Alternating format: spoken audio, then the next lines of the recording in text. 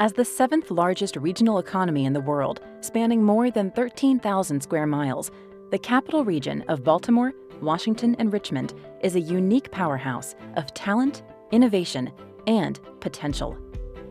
Already home to 10.2 million of us, we're projected to grow by nearly 20% over the next 20 years. Transportation is paramount to our region's economic growth and prosperity. We depend on transportation systems to access our jobs, education, culture, and essential services every single day.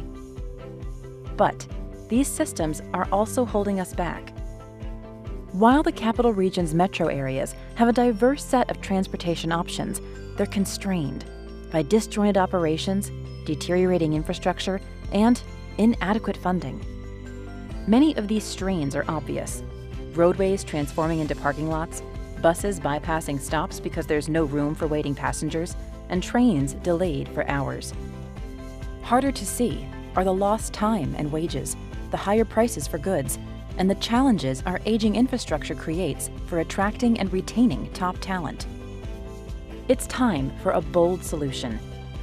The Greater Washington Partnership's Blueprint for Regional Mobility establishes a principles-based transportation agenda for the entire capital region the blueprint offers solutions that will better connect Baltimore, Washington, and Richmond with faster, more reliable, and robust rail, transit, and highway options.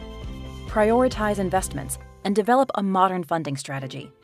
Ensure equitable access for every resident in our region and adopt innovative solutions to overcome our most immediate transportation issues.